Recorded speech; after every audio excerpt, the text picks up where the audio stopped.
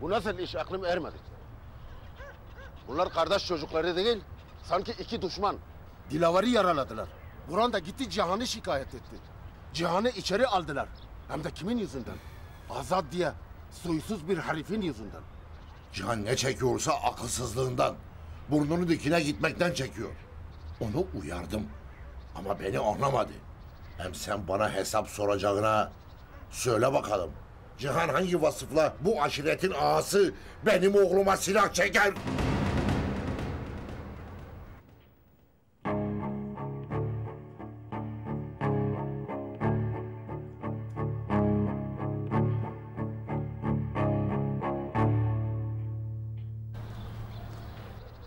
Buran da hep onu içe saydı.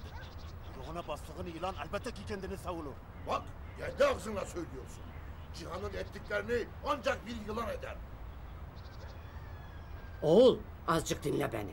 Sen iyice yolunu sapıttın. Hala görmüyor musun? Senin uğursuzların yüzünden kardeş kardeşi yiyor. Kimin kimi yediğini hala görmüyorsun yani. Sana söyleyecek sözüm yok artık.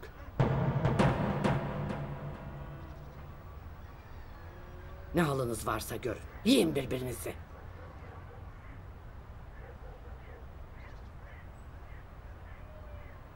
Bunun kimin yanında olduğunla ilgisi yok amca. Hükmüm kesindir. Cihan'ı aşiretten men ettim. Ama o azatların üstündeki hüküm durmasına rağmen hem beni hem de aşiretin kararını hiçe sayarak davrandı. Madem Cihan aşirete değil, neden sizin kararlarınıza uysun? O zaman işlediği cinayetin de daha öncekilerinde hesabını yargı önünde verecek. Azat'ı Cihan'ın öldürdüğünden nasıl bu kadar eminsin? Kendi adamları söyledi amca. Ben Cihan'la konuşmaya gittiğim halde bana silah çekti. Ben doğruları öğrenmeye gitmiştim. Ama onlar gözlerini kırpmadan bana ateş edebiliyorlar. Cihan'ı içeride fazla tutamazlar.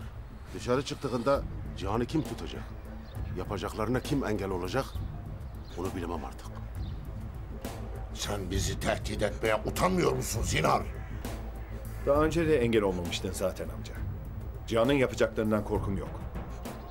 Böyle dalaşmakla bir yere varılmaz. Aşiret toplansın, oturup konuşalım. Unuttun. Biz bu aşiretten atıldık. Artık kendi aranızda konuşursunuz.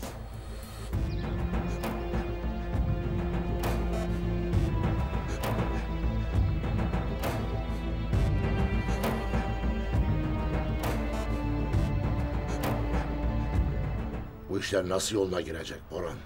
Cihan'ı şikayet etmenin başımıza açacaklarından haberin var mı? Önünü, sonunu düşünmeden hareket edilir mi? Oğlum benim bildiğim kol kırılır yen içinde kalır. Bu senin ne ağlığına ne şanına yaraşır. Bir it için kardeş kardeşe düşer mi hiç? O Cihan iti de benim kardeşimin hayatını mahvetti. Narin ne halde bileniniz var mı? Ne yerde ne gökte kız. Konuşmuyor, ağlamıyor.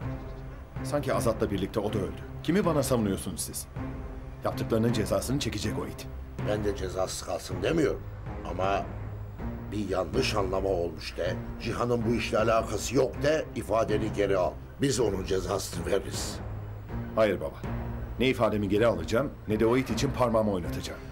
O nasılsa bir kılıf uydurup çıkacak oradan. O vakit rahat duracak sanıyorsun. Senin düzenin, koruman gereken bir aşiretin, düşünmen gereken bir oğlun var. Cihan hiç gözünü kırpmadan canını yakmak için uğraşacak. Bunlar aklına geliyor mu? Hesabını doğru yap oğul. Aşiretimi de, doğacak çocuğumu da, tüm sevdiklerimi korumak için her şeyi yapacağım. İfademine geri almayacağım. Bu da son sözümdür.